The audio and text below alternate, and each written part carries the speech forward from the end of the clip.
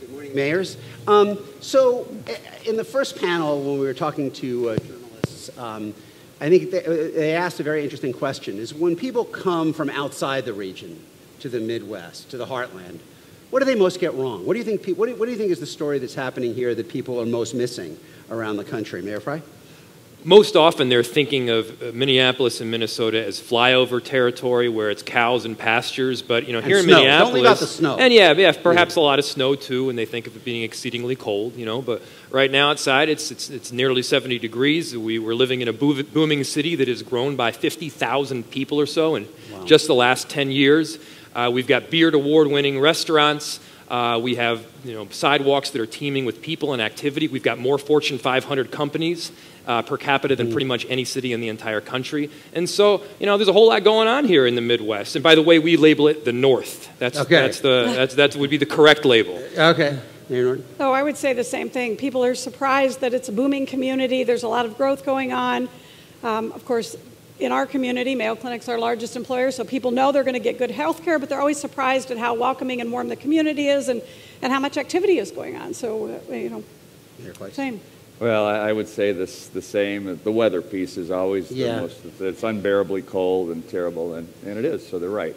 Um, but the aspect I think is even more of an issue is um, in greater Minnesota versus um, there's a, there's a I think the, the misconception is oftentimes the urban area, Minneapolis, St. Paul, Twin Cities area versus greater Minnesota. So some, some aspects that there are a lot of times, and I'm a former legislator, so even my colleagues back then didn't realize that we still have the same issues. There are urban, the changing demographics, all the same yeah. issues that any city in Minnesota has, but any city in the country has. Right. So almost whatever is the issue of the day nationally, is the same issues in, a, in our small town and even in greater Minnesota. We're going to come back to that urban-rural uh, divide in, in, a minute, but, but I want to, interesting, you're talking about the thriving. I mean, you know, a lot of people, their first image is blue collar, what we were talking about before in, in the film and, and earlier, that blue collar industrial decline, you know, kind of rusting factories as kind of the, you know, the state flag. But here, I mean, we're talking about very much information age economies at this point. What drives your growth? in Minneapolis and Rochester? What is driving your growth? right now, we're seeing in Minneapolis what major cities throughout the country are seeing. Uh, you have people that are wanting to live in an urban area. It's a perhaps a culture shift. Mm-hmm. Uh, they want to live around diversity.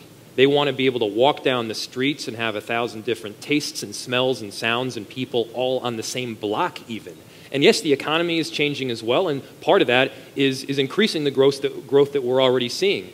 You know, this is, this is no longer the you know, American dream of the 1950s where the whole goal was kind of the, the white picket fence and the 45 minute commute into work. Mm-hmm. Uh, and uh, as you mentioned, a lot of the factories are closing, but you know, we in Minnesota right now have almost like more jobs than we know what to do with. We have like 140,000 job vacancies right now in Minnesota, and we're working at retaining and recruiting talent to make sure that we can fill those jobs. So if you want a job, if you want a great place to live, Minnesota's the spot. 140,000 jobs that are unfilled in the... We, have got the most recent figure. I think it's even above yeah. that now. It might wow. be 150 or 160,000, and, and the numbers are projected to go up dramatically from there.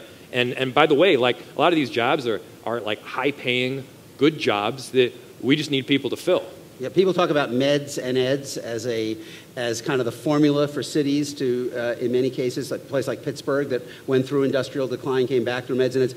I mean, there can't be many places that are more meds and eds, uh, as well as engineering and tech than than, than talk about that. that what Absolutely. drives your economy? Yeah, Rochester has the best of both worlds, in my opinion. We're a great community. We have um, certainly Mayo Clinic and the strong um, healthcare base, basis, but we also had uh, IBM as the largest employer for a long time. It's now the second largest employer, mm. but still a huge influence in our community. Um, we do have a little bit of ag yet, um, so we still have that urban uh, and then the rural feel with, with ag and, and being a small community away from the Twin Cities. 2.2% uh, unemployment. Wow. So we yeah. too are desperate for employees, and we'll, we try to steal them from Jacob. And, uh. you know. A, a, smaller place, can you, as, as, as you kind of listen to that, that kind of the economy moving toward these kind of, you know, information age, post-industrial jobs, people wanting to live in cities, can you compete with that, or do you feel as though that economic boom is passing you by? Well, see, and even that's a misconception. Okay. A smaller place, because St. Cloud, is, uh, well, eighth largest city, but as a region, the daytime population of city more than doubles. So the regional mm. aspect, one of the mm. areas that we have, and actually our largest employer is healthcare. So it also, uh, so is also healthcare. We have, and, and, it's the it's the fastest growing sector, um, and that it's an aging population. But we also we're a college town, so there's aspects of that too. But as a regional center, we have retail, and when you see nationally a lot of retail, in fact, we've seen it also where we've had places that have closed uh, and went bankrupt. Uh, Herberger's, uh, Sears, uh, mm-hmm. Shopko, all those entities that, that we have that like other communities have. But we, we have, a, we have a, a mall that is completely 100% uh, full. So, um, we have a lot of retail that's been added. Um, you know, those types of jobs as a regional What's center. What's Herberger's? I'm just kidding. so uh, let me ask you, because I mean, part you know, part of the debate, and and certainly uh, uh, uh brought higher to the, the, the surface by the results of the 2016 election, where we saw this very stark divide between the biggest urban areas and how they voted, and smaller, mid-sized to smaller, mid-sized, uh, um, uh, uh, mid-sized to smaller. You know, was was the sense in many communities that too much, and, and we're going to talk about the flip side of this in a minute, that too much of the growth is now concentrating into the very largest places. And there are lots of communities in America that feel they are being left behind, particularly as the economy evolves away from the you know, old uh, manufacturing and energy production. You don't feel that. You, do you feel as though the, the, the, success of Minneapolis and the Minneapolis region comes at your expense, or that there's essentially a, a, a rising tide that is lifting all communities? Well, I would agree with Mayor Frey because the aspect of people we are at the same position that every other city is. Unemployment is extremely low. Yeah. Uh, and economic development, uh, I've been mayor for 13 and a half years. Economic development used to always bring, bring in all these companies so you can bring in all the jobs. Right. Now our, our focus is bring in all these employees so we can actually fill the jobs that are there. Um, so it becomes more the issue of livability. And I think mm. there's, if you look at all the national trends, of course, um, millennials and Gen Zs uh, are more urban in fact, for the first time on the planet, we have more people living in cities than we have yeah. at any time in our mm-hmm, history of mm-hmm, this planet. Mm-hmm. So there is a there's a movement to where people want to live, and so cities, and, and we, are focusing on the livability aspect of things. So, um, and, and no, what, I don't believe that's the case. In fact. Um, you, you can still uh, commute in St. Cloud is never going to be more than 20 minutes uh-huh. anywhere well, in the know, entire city. So there's other aspects. That's a quality of life issue. What you call livability, you know, I, have heard in other cities called the problems of success. I mean, I grew up in the 70s in New York. The era of to New York dropped dead, and the last thing that people were worried about were too many people trying to come live uh, in cities. But now, in fact, you're adding population, which means higher prices, uh, higher housing costs, uh, which means displacement uh, in many places. You have moved very more aggressively than almost any city to try to deal with that in terms of how you uh, structure your zoning laws and allowing for kind of multifamily development. Can you talk about what are there problems of success that you are dealing with in Minneapolis, and how have you tried to respond to those? Of course, there are issues that are associated with the success. And when you have tons of people that want to live in Minneapolis, they want to live in and around the downtown core, but you don't have a housing supply to accommodate it, the prices continuously get yeah. jacked up. And so, to tackle an affordable housing equation, you really got to look at it from two facets. One, you need subsidy. You need to bridge the gap between whatever constitutes the market rate and the affordable rate. And by the way, we've invested about three times the previous record, $40 million, in affordable housing, yeah. specifically focused on that low income and deeply affordable housing. But the second piece is you need to allow for the additional supply. Uh, and I'm a believer that we should have a diversity of housing options in every neighborhood. In every neighborhood. In right. every neighborhood. We should have a diversity of housing options, and it follows a diversity of people and socioeconomic backgrounds and races in every neighborhood. Because when you got a thousand different ideas at the table, that's when great ideas take shape. That's when entrepreneurship gets triggered. And that's ultimately when our city is really going to rock. But in order to, allow, uh, to get it, you first need to allow for it. And we had a city and have a city that you know is exclusively zoned, uh, uh, two thirds of it as much for single family homes. And we're not outlawing single family homes. We're not getting rid of single family homes. But we're saying, in addition to being able to put up a mansion, you can also put up something more affordable in the form of like a duplex or a triplex. You can build taller on commercial corridors. And, you know, you talked about livability a second ago. What is livable for one person is not livable for another. You know, your definition of livability, you know, who knows, may be uh, living out on a farm. Uh, my definition of liv- livability, you know, my wife and I, we live in a loft on a, on a, bustling commercial corridor. We barely ever cook. We go to the bar like every other night, I feel like, and get a great meal. Mm. That's, that's livable for us. And, you know, when my security does, doesn't get too pissed off, I bike to work. Uh-huh. You know, and so that's, that's how people want to live. And so it's dramatically shifting, and we need to account for that shift. Um, in, a, in, a, in, a place like Rochester, uh, do you face some of those same housing affordability issues? And, and could you envision a world where you're allowing uh, not only, you know, eliminating single family zoning uh, in big areas? Uh, or is that something that's really just an urban, the most urban communities? No, I think what you're, you're hearing here, here from three different communities, three different size communities yeah. with, you know, different economies, is that we have the same problems. Um, we've worked very hard uh, to uh, grow a vibrant community so that young people want to stay in Rochester. I think historically people uh, grew up in Rochester and then left for the big city. Now people are coming, younger people are coming to our community because they're seeing um, a community that's starting to hop a little bit and, and that we have uh, the amenities that they want. Um, I don't, you know, the Twin Cities is, is doing their zoning, I, and, and I think I heard you're not going to get rid of single family completely, or are you? We are getting rid of single family zoning completely. Completely. completely. We now, are not going to get yeah. rid of it completely, uh-huh. but we have also changed our zoning ordinances over the last year, and we will continue to, to build density in the inner city and stop the sprawl that we have and allow more. Um, we have R2X zoning, we've just put it in place, kind of a step Which, up for neighborhoods so that you have um, larger apartments and duplexes. Mm. We're working uh, growing our condo uh, communities. Uh, you know, maybe Jacob's been there before and he's made yeah. a change to move away from it.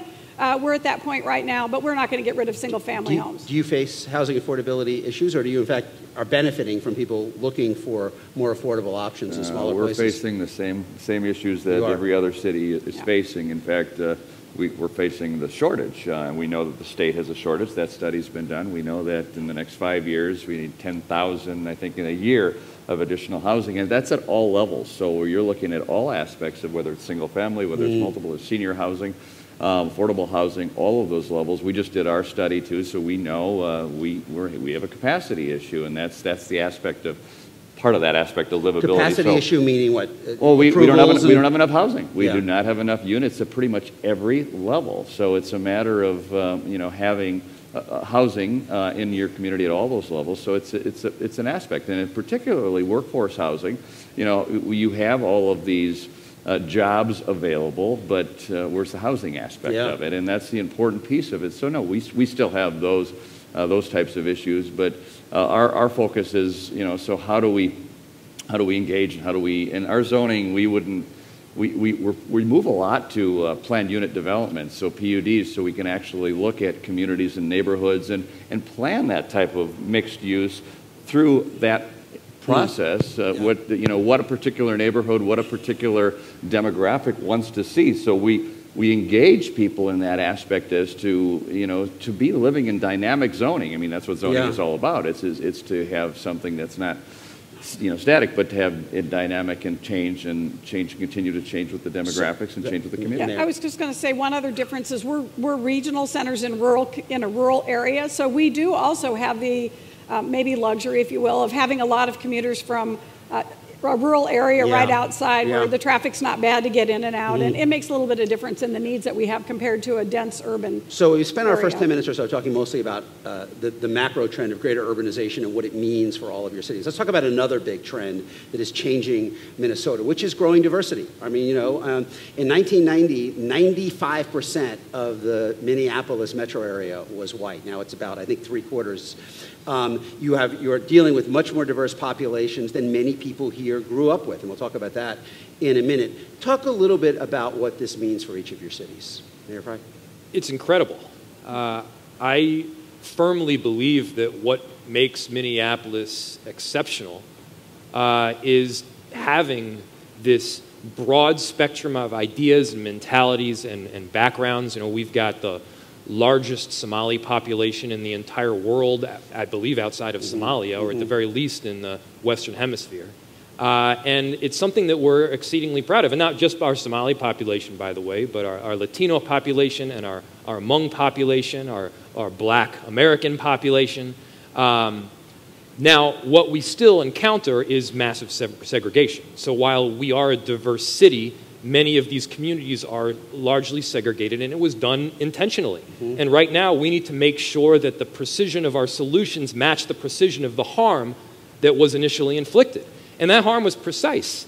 Uh, and so, as we look to allow for a, a beautiful diversity of, of neighborhoods, um, you know, we also need to make sure that we're accounting for a plethora of other issues that have, have plagued these communities, and intentionally so, for years. You know, before I move on to the other cities, I want to I wanna follow up because um, when John Hickenlooper was the mayor of Denver before he was the governor and briefly a presidential candidate, he, he talked about what he called the Denver paradox. And the Denver paradox was, and I think it applies to many cities and certainly would apply to Minneapolis, we have a quality of life and a strength of an economy that is attracting people from all over the world to come live here. And yet, we cannot put our own kids from low income and minority neighborhoods on a track to compete for the jobs that we are creating that are bringing people in from everywhere else. Do you feel that applies to Minneapolis?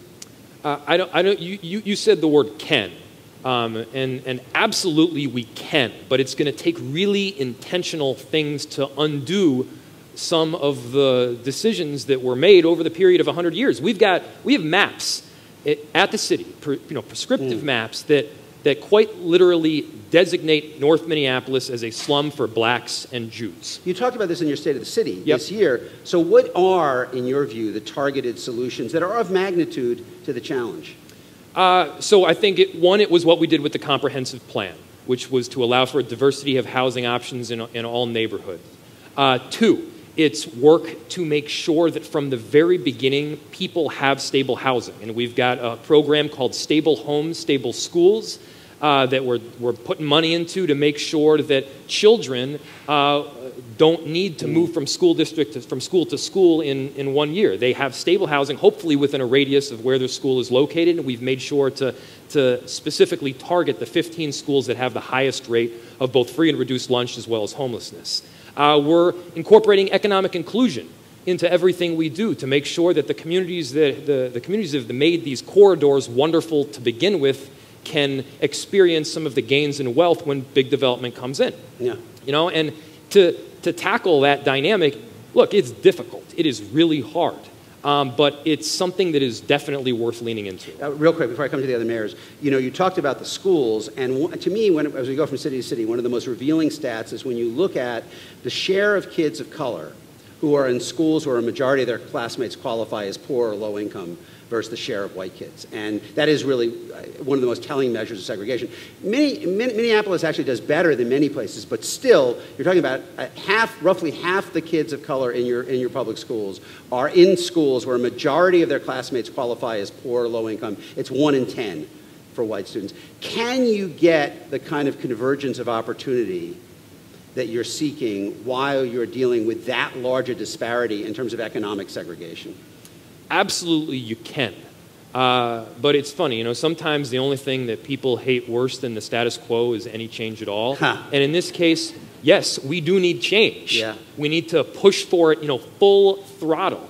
And in order to see success, you have to have different mechanisms of success around you. You know, I, I want children to grow up in communities where they've got a cornucopia mm. of different options as to what to do with their life. You know, if, if you want to be a mechanic, you can be a mechanic. If you want to be a doctor or a lawyer or the mayor of Minneapolis, like you can do every one of those things. And by the way, you know people in your neighborhood that are striving towards those, yeah. those goals.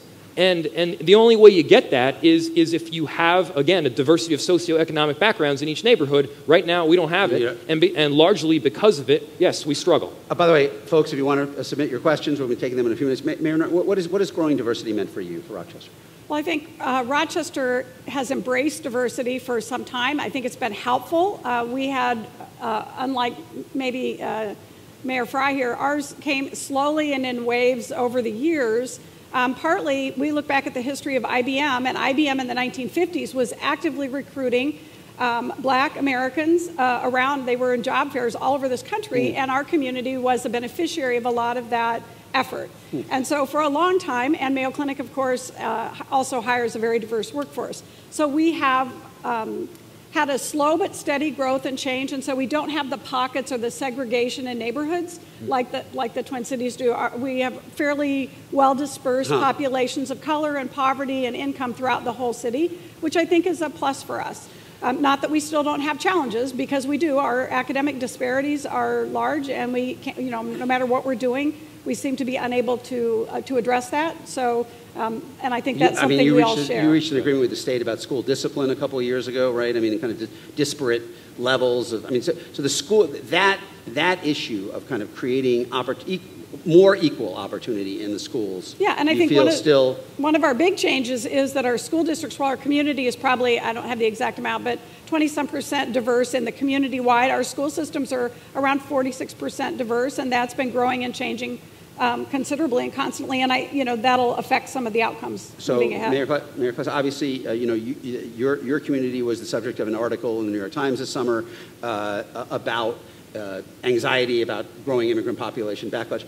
Where do you think those issues stand in St. Cloud? Well, I, I, I, we were subject to that. I would disagree. We could spend all the time just yeah. talking about the article, but there, that's that external perspective again that gets it wrong. I think oftentimes. What do you think is the real story then? Well, well, well, first of all, we, we've changed uh, as you demographically, and if right. you go back even 20 years ago, sure. we were at a non-white population of 2%. Yep, uh, right. uh, and that's at about 17.8% right. now. So right. there's a there's been a significant change and a lot of that a lot of that has been through immigration, refugees. Uh, we have a large East African population that we have had for the last 15 years. So there is a lot of change in demographics uh, in our area, but uh, I, I, would agree with what's been said. It's, it's, it's, it's what makes communities livable. It's what people want to see, that that diversity has added so much. It's added so much to our country. It's added so much to our state. It's added to our community. So we embrace that aspect of, of having. Well, obviously, there's some people who are not embracing it. Do you feel that, that they are? Well, there, there, there are some people that are not embracing it in every city yes, in America, and right. in every in every place, every country in the but world. But you think the majority and, is embracing it? Uh, absolutely, it's embracing it. I, I, you know, that you, you can look at the growth. You look at a community that's been around for 163 years. We've never had a year where we didn't have growth, and that's population growth. We've never had a situation. I give you give you a great ex, uh, example. It's collaboration and partnership. We focus on a lot of the non-government partnerships. So the solution this has to, has to be from engaging your community, but engaging your community what will change and what will change that perception and will change stories like that we're in the New, the New York Times, I always say,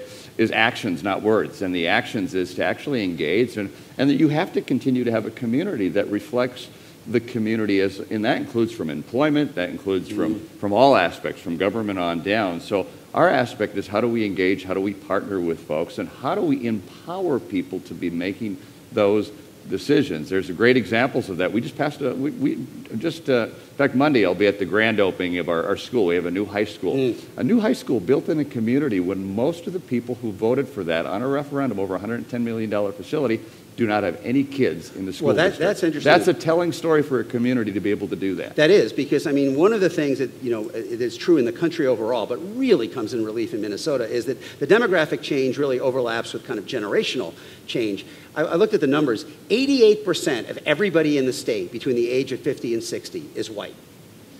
A third of everybody in the state between 5 and 15 is non-white.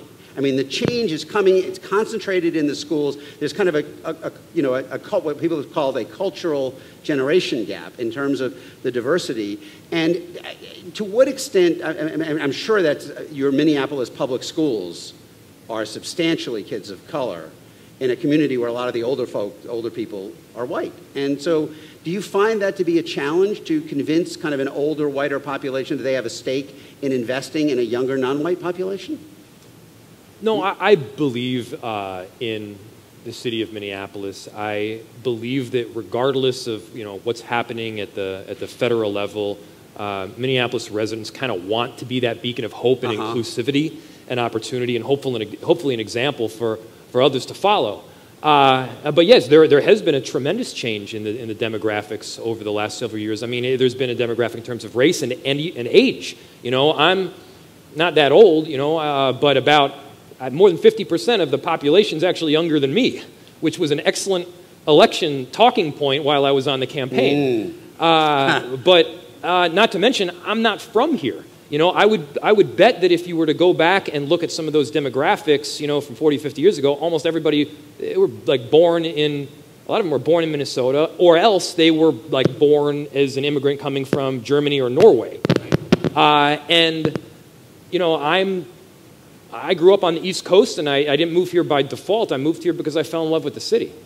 Can I ask one last? I want to bring it to one last area of kind of, uh, again, something we see more in, in, a lot of states where there has become rather pitched conflict over state policy between rural areas and metro areas.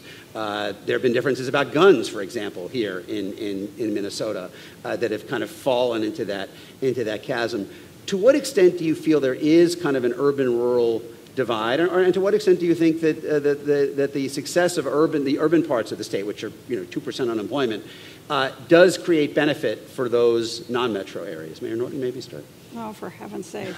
Because you, you, came out of the legislature. I, well, I came out of the legislature for a reason. Uh-huh.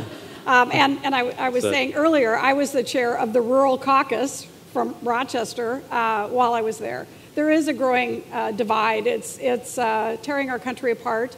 Um, I think I, there aren't going to be the same kinds of jobs in uh, rural America as there have been in the past, and it's a struggle for communities. Mm-hmm. So, as, as an urban center, again, we can, with the 2% unemployment, we're happy to have people from our neighboring communities uh, come in. And my hope is that some of those young people that grow up will stay in some of those outlying areas too. We're happy to welcome them in Rochester, but those communities need a, a support base to continue on and, and, and not dry up. So, I'm interested in your thought. Is well, it's uh, I, I happen to be probably right I don't know the only city that still has farms. I have farms actually in, in my city. In the so, city, uh, yeah, there, wow. so we have an agricultural zone. There's not many. Yeah. There's five or six farms, but they're in yeah. the city.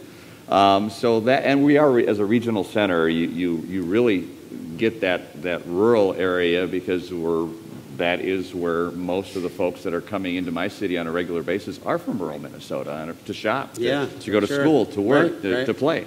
Um, so that aspect of things is, you know, we embrace that that piece of it, and that, and that's the aspect when I when I talk about the aspect of livability, it's trying to engage people in, in all aspects so that there's that there's that piece for everyone uh, in a community, but it, it creates partnerships, and that's the aspect that's an important aspect of it as a community. I, we just there's an announcement, and this is one of the I, one quick little yeah. uh, partnership, and that's with the Boys and Girls Club um, and the St. Cloud Technical and Community College. And, and, an, and a, a, a, generous entrepreneur that's willing to give some dollars where they're, they're taking and they're embracing the, the it's called Career Starts, where the Boys and Girls Club from, from kindergarten on up are embracing the concept of of employment in, in, in, the community, they have a benefactor that's going to pay for their, their college tuition uh, if they go through this program, and you've got a technical community college that's willing to, to do that at no limit. So that's taking a, a holistic approach, private approach,